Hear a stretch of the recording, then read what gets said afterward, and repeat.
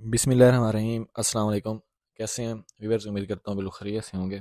अच्छा आज बात कर रहे हैं कि हमने तेला को, तेले को किस तरह कंट्रोल करना है केमिकल का यूज़ कर कर मीन के पेस्टिसाइड का इस्तेमाल कर क्योंकि बाद टाइम बहुत ज़्यादा बढ़ जाता है। तो जितने भी हम लोग ऑर्गेनिक तरीक़ेकार इस्तेमाल कर रहे होते हैं, वो हंड्रेड परसेंट हमें रिज़ल्ट नहीं दे पा रहे होते।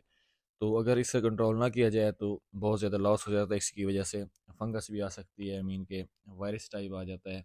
पत्तों का ये रस चूस लेते हैं, अगर हमारे फलदार पौधे हैं तो उसका भी लॉस आ जाता है, फूलदार हैं तो फूल नहीं बनते सब्ज़ी हैं तो सब्ज़ियाँ ख़राब हो जाती हैं। तो फिर आपने कौन से ऐसे पेस्टिसाइड का इस्तेमाल करना है जिसका आपको हंड्रेड परसेंट रिज़ल्ट मिले और बहुत ही जल्द रिज़ल्ट मिले? तो उसके लिए आप लोग मेडाग्लोपेल्ड का भी इस्तेमाल कर सकते हैं, इसका बहुत ही आउट क्लास रिज़ल्ट है। उसके अलावा आप लोग नेटम पैरम का भी इस्तेमाल कर सकते हैं।